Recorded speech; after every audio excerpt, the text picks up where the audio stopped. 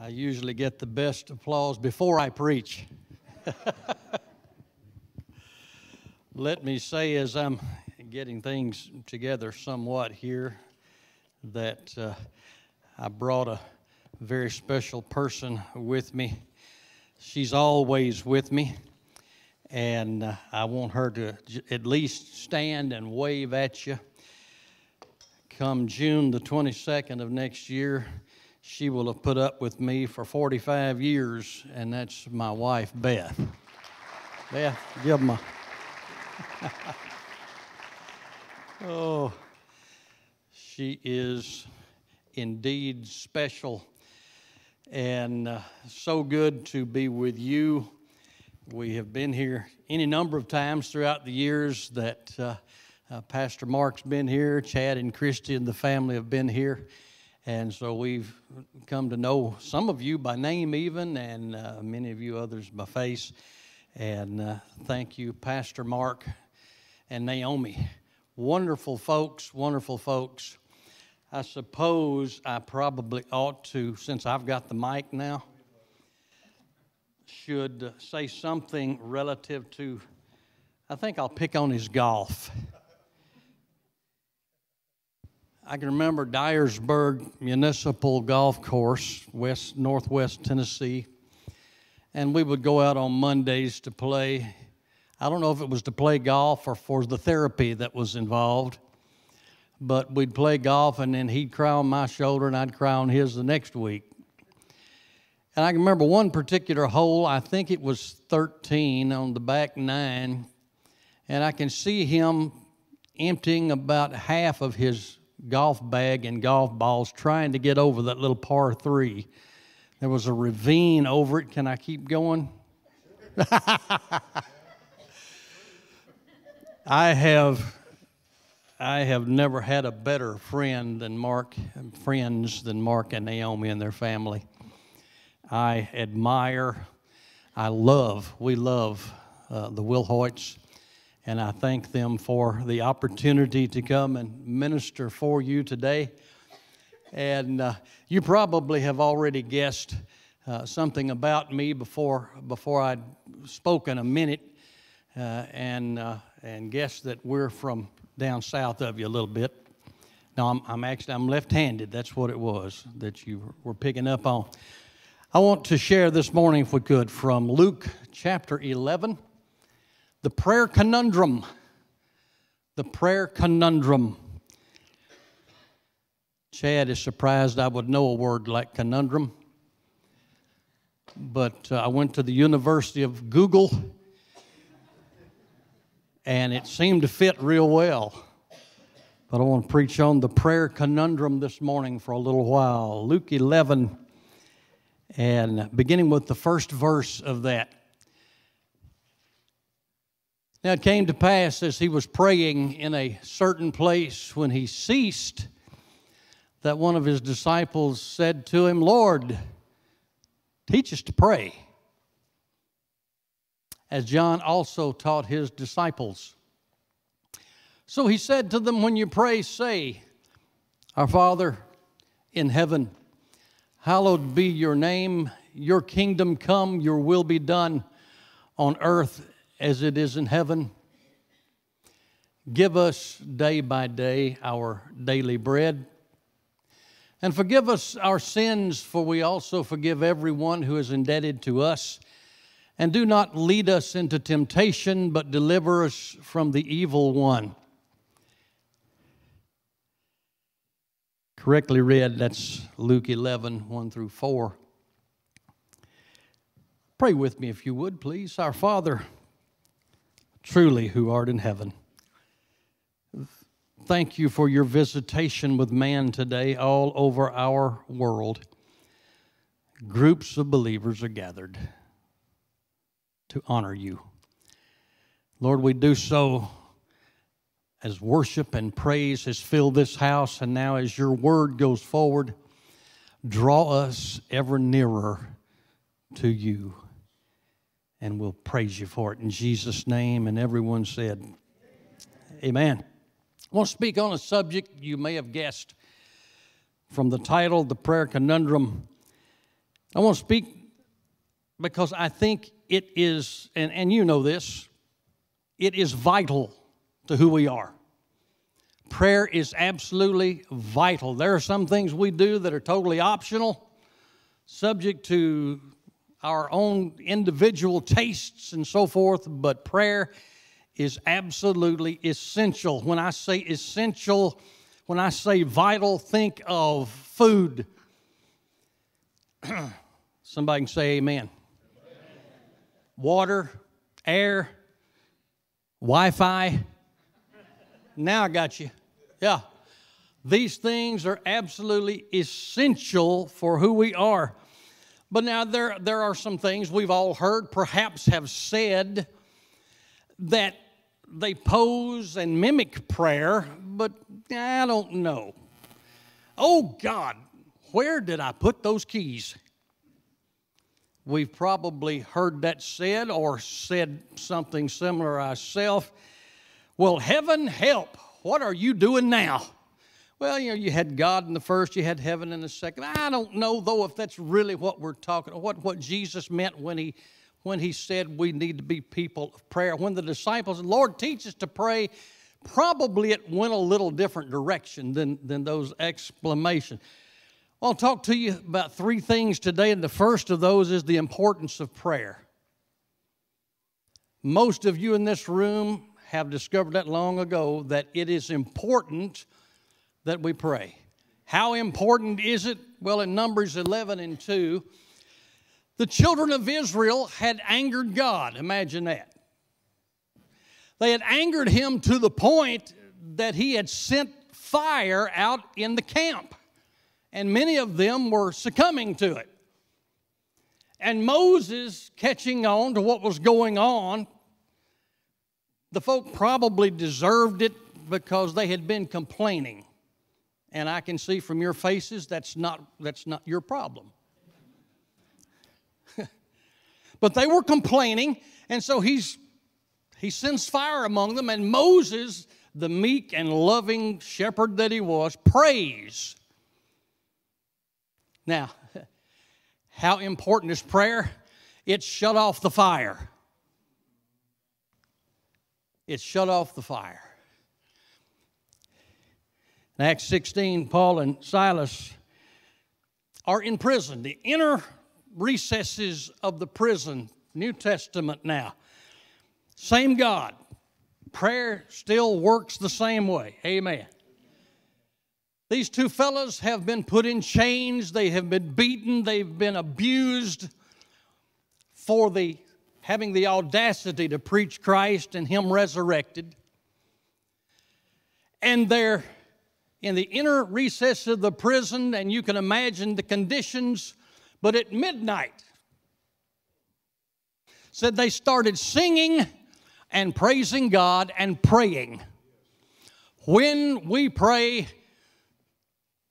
God moves. When we pray, God moves. And, and sometimes He speaks to us, sometimes it's through His actions. But God, all, I believe God answers every prayer. Every prayer. Sometimes not the way I'd like for it to be answered or at the timing I would like, but God answers them all. In the Kings, the king, Hezekiah at the time, got word from the prophet to get his house in order. He was going to take the long journey, he was going to die. Hezekiah knew how to pray. And so he turns his face to the wall and he prays a prayer that I don't think I would have had the courage to have prayed.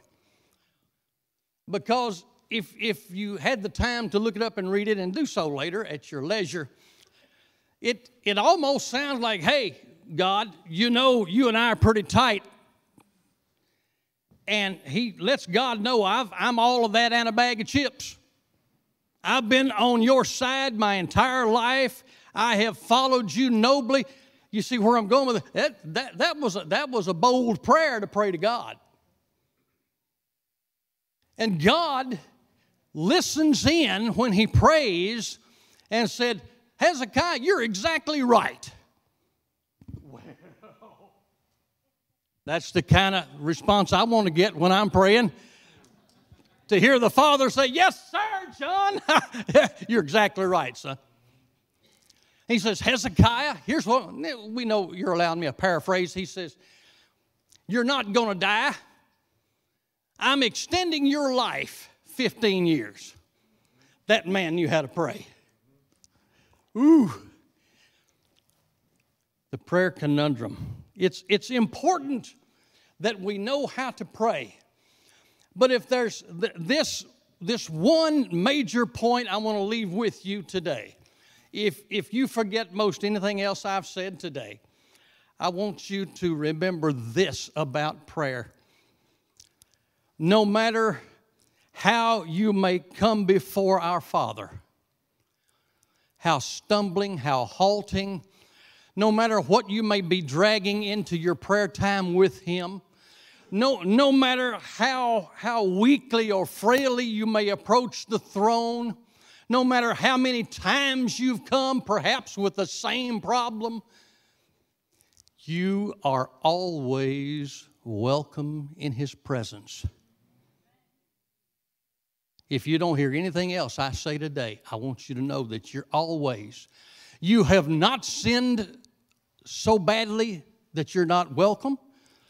You haven't come so many times that he's annoyed by you showing up continually. If there's anything that gives our Heavenly Father joy in his heart, it's for one of his kids, one of his children, to take the time.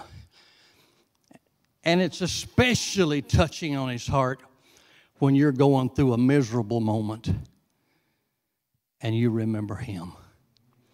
You'll find his heart. You'll find his heart.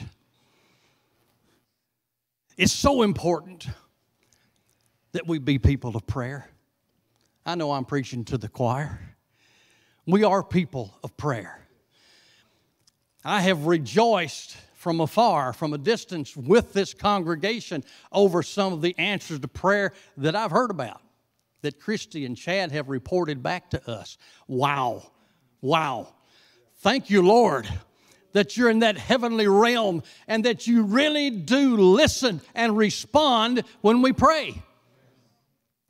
It's important that we pray. Nothing else is more important than touching base with our Creator because he's already been there. The way that I'm going, he's already been there. Many have gone before us, know the way, and he knows exactly what to say or what to do that will make him very real in our situation. Oh, that we be people of prayer. I love to sing. I, I love all of the activities of church. Church has been our lives for nigh on to years and we love it.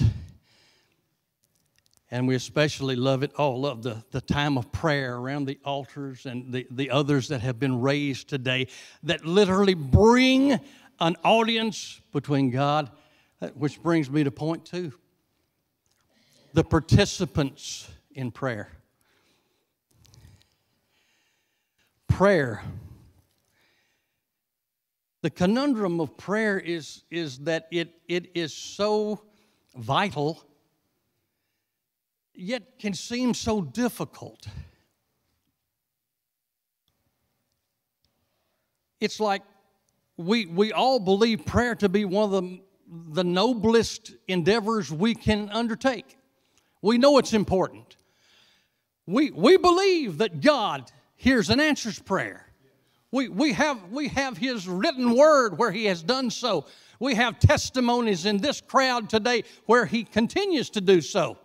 We believe that.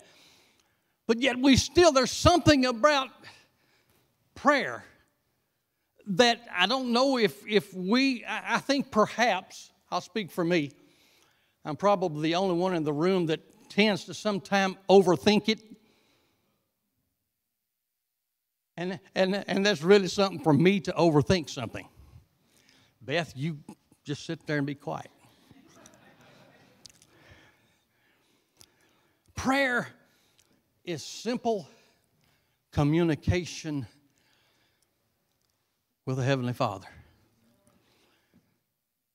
Simply, and there are two aspects of it in the participation, there are two participants there's me,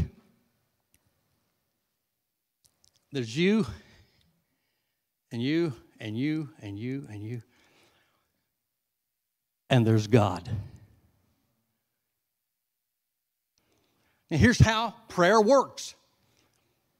I approach the throne boldly, not arrogantly, but boldly. He wants me to come that way. He invites me. I, I, he's never too busy for you or I. We're family, friend. No matter what else is going on in our world, family comes first. And when family wants the father's ear, family gets the father's ear. When my son or daughter wants to talk to me, it doesn't matter what's on television. It doesn't matter who's on the phone. It doesn't matter what's going on in, on Facebook and Instagram. My son or daughter needs my attention. That's where it's at. And the, the way this works is that that I initiate a conversation or a plea. And sometimes, as we're talking, remember, us and God, you and God, I and God, me and God. And I start out, and sometimes I use words, and sometimes words don't seem sufficient because oftentimes when I'm engaged in prayer, my heart is busted in a million pieces and I can't find most of them. And so I'm bawling. Up here it's crying, in the south it's we bawl. I'm, I am anguished, but I'm communicating with my Heavenly Father. And sometimes the, the words that I want to say, and I, perhaps this is, this is what impedes a lot of us in prayer, is we're trying to find just the right words, just the right way to say it. I, when I was, when I, early on, when I was just a youngster, eh, years ago, and I was really learning how to pray, I thought you had to pray King James. Can you imagine a southern boy? approaching the throne of God in Elizabethan English. Yeah, that's what I heard. that's what I heard from the throne. God's got a sense of humor. Aren't you glad? Aren't you glad? But the participants are us and God, and so I convey to God. It, it may be through tears, sometimes it's through joy. But I convey to God, Lord, I love you. I need you. I need your help. And I pour myself out to God. Sometimes I go to the Word. When, when I don't have the words, I'll go to the Word and just read His Word to Him. Sometimes I even, when my own language, I'm, I'm glad I'm Pentecostal. Because part of that was, a, was the endowment of a language I never learned, but heaven gave me when I was baptized in the Holy Ghost, and, and sometimes I won't know what words that I want to use. I won't know how to go to God. And so the Spirit just takes over. And I don't know what it is about that. I can't explain it beyond the fact that it was a gift. But I know that when I shut the door on my prayer closet and I hit my knees and I dry my tears and I'm speaking in the Spirit, after about 15 minutes, I feel better. How many know what I'm talking about? I feel better. I have touched Father, and He's touched me. I talk, God listens, and God responds. now, when I say that God speaks, he was asked, Reverend Charles Crabtree, one time, who, who, who for a while was our assistant general superintendent of our movement. And he made made it known that he had heard from God in prayer time. that God had spoken to him. Well, some, some uh, wiseacre replied and said, You mean you heard God audibly? To which he responded, Oh, no, it was much louder than that.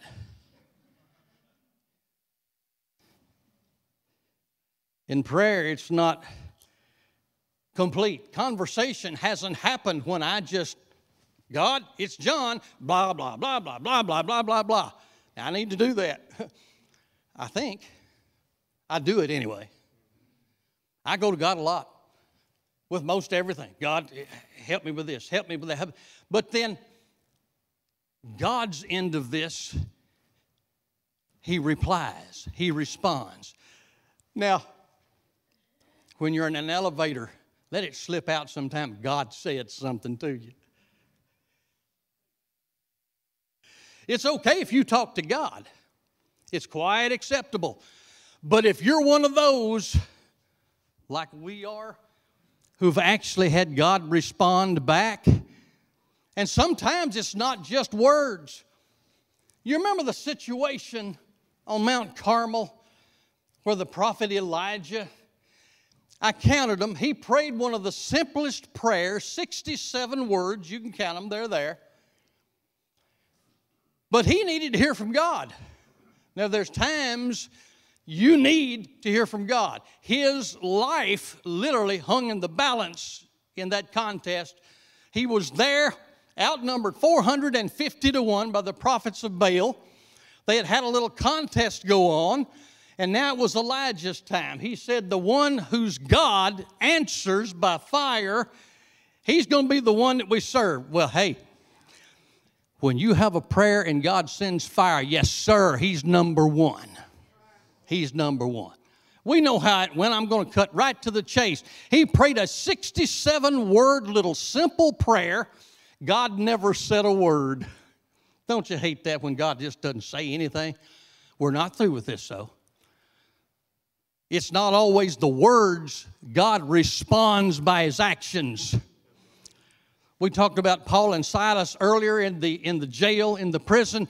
God didn't say much then, but He sent an earthquake and shook them loose and set them free. God responds when we pray. Sometimes it's more than with words. And so Elijah prays that God, it, and, and I'm getting right to the chase. I'm paraphrasing this. He said, Show them, God. Now, if you'll read what's there in whatever version you have, whatever translation you'll have, and you get it right down to the nuts and bolts, that's what he said. All right, God, show them yourself. Show them who you are. And he did. Elijah backed up just in time because whoosh, fire from heaven fell drank up all of these, these huge tubs of water, gallons and gallons of water, ate up the sacrifice on the altar, licked up the dust of the ground. There wasn't anything. My God answers prayer, and if He'll do it for Elijah, He'll do it for Joe and Bill and Susie and John and Jennifer. He still answers prayer.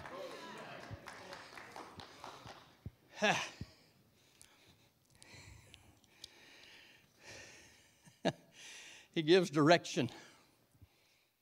Moses and the children of Israel at the Red Sea, they're escaping all the years, 430 years of slavery. And they've been on the march out of slavery and they come to the Red Sea and it's, there's no way to get across it. There, there's all these hundreds of thousands of people and no way to get across it. They don't have a raft, they don't have a boat. They don't have the time because behind them is Pharaoh marching just as quick as he can. He's had a change of heart. The devil had a change of heart. Imagine that. And he set it against them and he's going to kill them. And the ones he don't kill, he's going to take them back and imprison them again. They're done for. There's mountain ranges on both sides. One of the only times in Scripture that you find a situation where God says, don't pray, was right here. Moses starts to pray because the people are just about to do him in, his, his own people. Moses, you brought us out here. What are we going to do? God's going to give us a way. When you pray, God gives direction.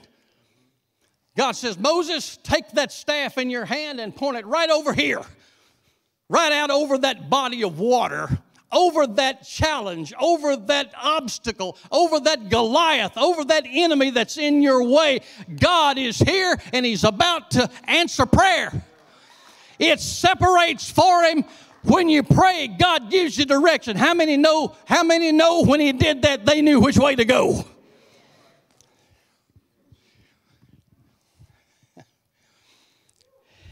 Yeah. Ah. I love the interaction when God when God responds. When we know how to pray, if we'll fear God in a wholesome reverential way in our prayer time, we don't have to be afraid of anybody or anything else. Because God and just one of us is a majority. Whew. How many of you know and could testify if you had a chance today about answered prayer in your own life? Wave at me. Ooh, yes. Lastly, I want to talk to you about the significance of prayer. The importance, the participants, and the significance. Prayer is significant because it brings God and you and I together.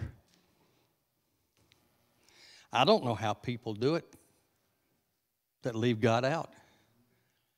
I, I, I really don't. He's my best friend. I've told my wife any number of times she was the second most important person in my world. And when I explained that, and I know some of you lay, well, wait a minute now. Isn't she number one? No. God's number one. And she's fine with that. That's what makes it work. He's my friend, He's my counselor, He's my confidant. I can tell God anything. I can get mushy before Him. I can weep. I can just be in an absolute wreck of a heap before Him, and it's okay. I, he, he tells me, John, you don't have to impress me. I know you. Let's just reason together. Oh, to reason with the Heavenly Father. And it doesn't matter how often you've come. It doesn't matter what the reasoning was, how, how awful the situation or circumstance that led to your coming to Him. You know, some of us are just, I think we get, we get ashamed, we get embarrassed. And so, Lord, you, you, you can't be happy that, I, that I've, I, I'm coming again with this same thing. I'm a father, I'm a grandfather. And there are a number of you out there. When your children want to talk to you, dad or mom, grandpa, grandma, it doesn't matter that they were there yesterday, you're glad they're back. You're glad that they love you enough, trust you enough, have learned to gain from your insights and your love and your, your, your understanding and your comfort that they just, you know, we, we need to be people that are so comfortable in Father's lap. Just cut all the religion out. It's not about bow your head, fold your hands, close your eyes. You don't want to do that in Louisville on the interstate. No, sir. No, sir. Prayer is from here to God's ear. From my heart to God's ear. And if you have allowed the enemy to tell you you're not welcome in his presence, Satan is a liar, the father of lies. He made you family, He adopted you through the blood. And He wants you more than we could ever know. He wants you to come and say, Father, Abba, Dad, Creator, Lord, oh my God, it's John again. It's John again. Lord, uh, it's something I don't, I, I can't figure out. I don't know how to do this. I don't know what direction to go. I don't know how to say this. I don't know how to counsel these folks. I don't know how to pray here. I don't have all the information. Lord, what am I to do? And there's there's a still small voice.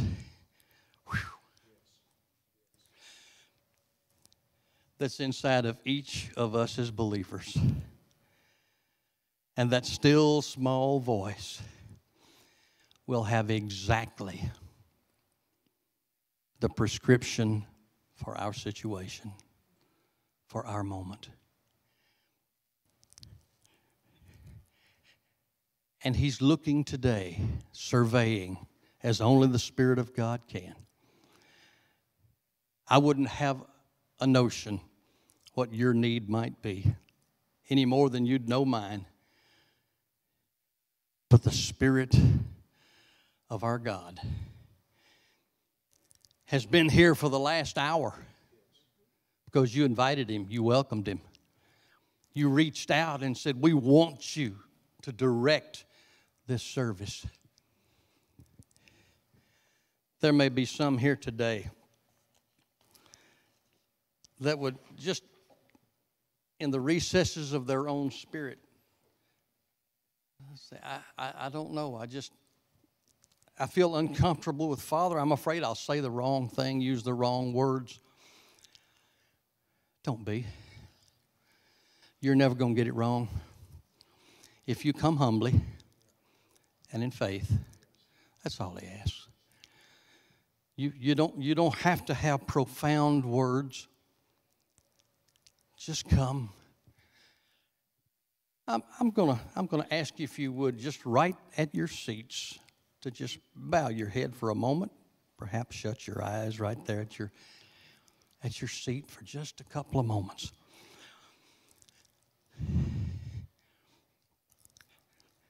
And I want us to get relatively quiet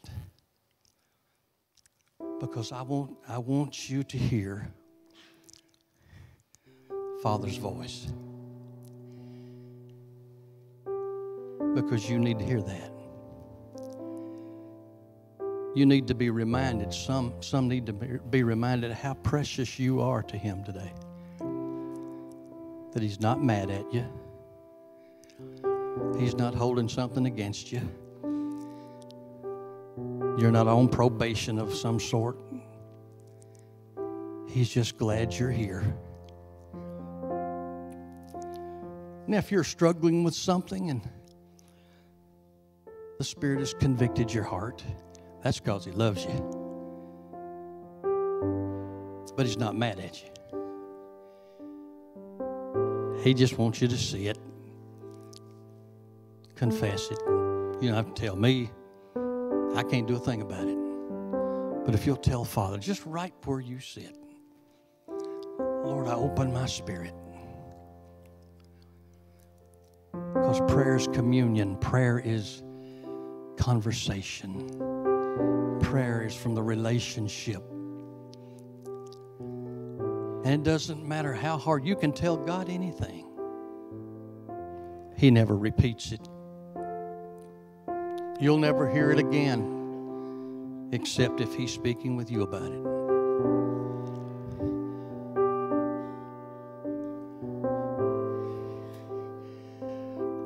Mighty God we serve. wonderful head of our family who has done so much to earn our trust as he laid down his life for us, hung on that cruel tree, and rose again. If you're here today and you just really do need a word from God. You just need to hear something from heaven right there at your seat. Would you just stand right there at your seat? Just join me. Just stand right there. It could, it could be for physical healing, family, finances, direction. You, you may need to repent of something and it's difficult. Trust Father. Trust Father. We're going to wait another moment or two. Just trust Father.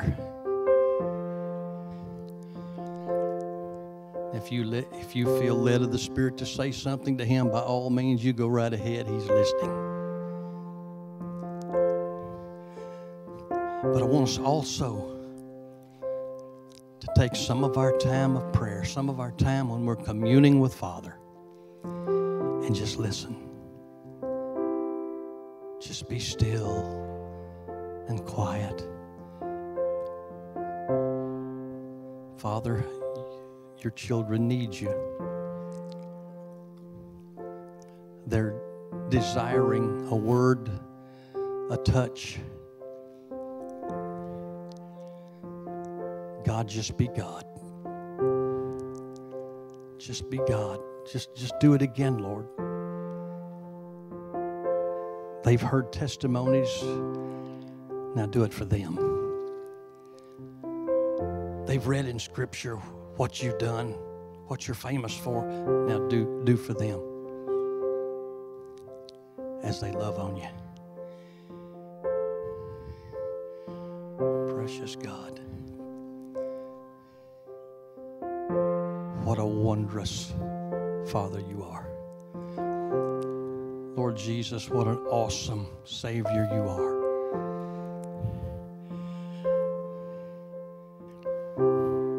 as I close my comments today. When God has responded, then I want you to share as, as best you can with someone how good God is.